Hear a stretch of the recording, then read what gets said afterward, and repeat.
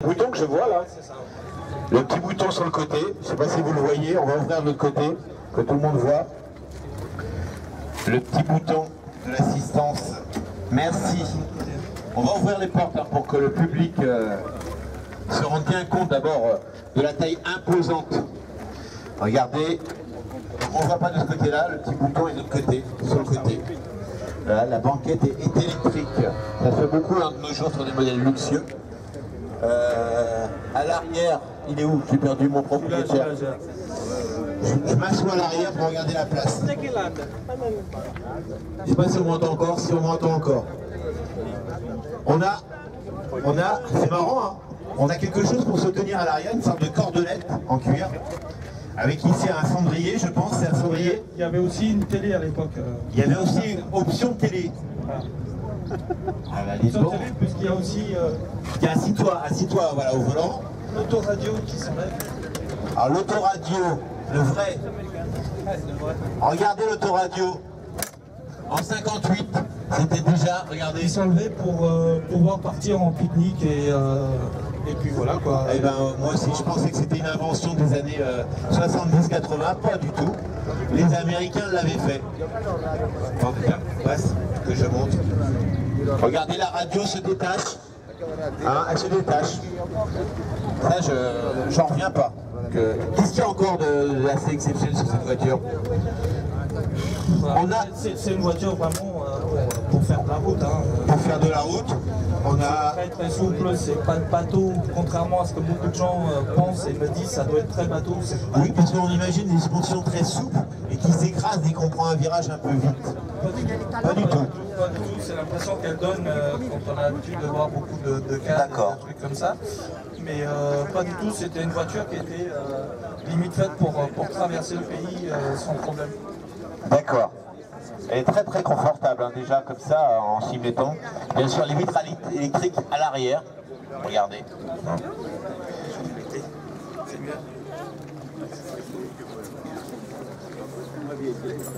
Avant, on a des manivelles, mais ça sert que pour les déflecteurs, hein, bien sûr. Hein, les vitres sont électriques euh, au niveau du tableau de bord, je pense. Et l'arrière, c'est ici. Voilà. C'était le grand luxe en 58. En 58, nous on roulait en dauphine en 4 chevaux. On- les vitres, fallait les, pousser sur le côté. Ah, un peu plus fort la musique, tiens. Tiens. Et on écoutait quoi? Voilà. On écoutait de la bonne musique du rock'n'roll en 58. Voilà. Alors on va détailler la voiture. Il y a beaucoup, beaucoup, beaucoup de chrome. On est dans les années 50. Il y a autant- Euh, les Américains, quand ils ont une belle voiture, ils aiment bien ça se. Et donc les chromes, c'est vrai que quand vous comparez un pare-choc euh, d'une américaine de- des années 50 et un pare-choc de Dauphine, il n'y a pas photo. Hein. Celui-là, il fait 10 fois plus, hein, 10 fois plus lourd que l'autre. Il n'y a pas photo. À l'époque, dans le de gamme en France, on a quoi? Dans le de gamme en France, ce qu'on appelle le haut de gamme, mais bon, on a quoi? On a les, les Chambord, on a les Chambord, on a la DS quand même, hein. mais on est loin, on est loin de la comparaison. Hein, au niveau des assistances électriques et euh, on va, on va demander aussi le moteur, donc c'est un V8, bien sûr. C'est vite. Tu fais combien de cylindrés Parce que c'est toujours impressionnant les cylindrés sur ces moteurs. Euh, ça c'est un 6 litres, euh, 6, 1. 6 litres 1. Le nombre de chevaux, tu connais? Non. Des 400. 400 chevaux. Faut bien ça parce que la voiture elle pèse Ça fait à peu près 2 tonnes 2, mais ça va. 2 tonnes 2. Ah ouais quand même, ça commence à peser. Alors pourquoi? Parce qu'il y a aussi beaucoup d'assistance. Ça, ça, il y a le poids. Quand euh, vous avez levé une fois la banquette, vous comprenez fait ça. Ah ouais, le poids, le poids de la banquette déjà c'est le poids du 4 chevaux. Non? C'est pas, un moteur qui fait tout, c'est chaque moteur avec, euh, avec son, euh, sa vis sans fin, donc forcément c'est des bien que les gens ne comprennent pas forcément qu'à cette époque-là, euh, on, est à- on est dans l'après-guerre, euh, tout est à refaire. Les États-Unis, le pétrole il est pas cher là-bas, donc on peut construire des voitures lourdes. Hein, euh, c'est pas grave si ça consomme beaucoup, l'essence est vraiment pas cher à l'époque. Donc on s'en prive pas. Hein, on construit des, voitures façon, façon bateau au niveau, de, au niveau de la longueur, parce que la longueur, je ne sais pas combien il fait, mais il faut avoir un grand garage. C'est 6 mètres. 6 mètres de longueur. Ah ouais, quand même tout une à côté, il euh, n'y a pas photo. On va regarder le moteur hein On va regarder le moteur.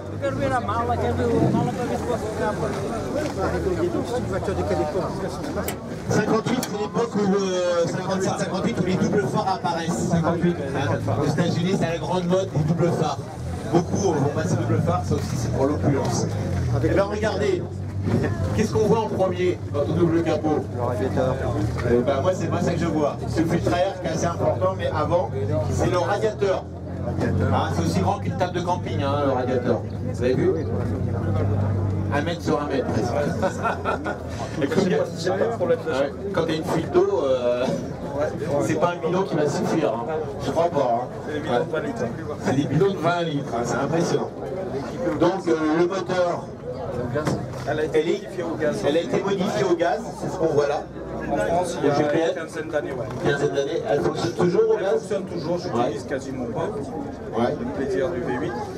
Mais euh, elle marche très très bien plutôt au gaz. Euh, Ça consomme évidemment beaucoup, j'en parlais tout à l'heure. On est dans les années 50 ça dépend. on est dans les quoi 15, 20 litres On est à 17 litres à peu près, bah, en, s'amusant un petit peu. On est dans les 17, 18 litres. Voilà. C'est un véhicule euh, sur 4 voies, euh, vous, êtes, euh, vous êtes à 140, 160 sans aucun problème, comme dans un véhicule d'aujourd'hui. Hein. On roule à 140 dans ce genre de véhicule sur l'autoroute sans aucun problème. Pas quoi, parce qu'elle a 58 ans Elle roule encore très bien. Elle ne dépasse pas les 90, non, non. Et puis elle pourrait même aller au-delà. Et elle ne pas combien à l'époque à peu près pour donner une idée 160, 170 Non, peut-être pas. 160. C'est déjà, monté un petit peu plus, mais. Euh, c'est pas fait pour ça. C'est pas fait pour ça, voilà. Parce qu'après, il ne faut pas oublier qu'il y a 4 freins à disque.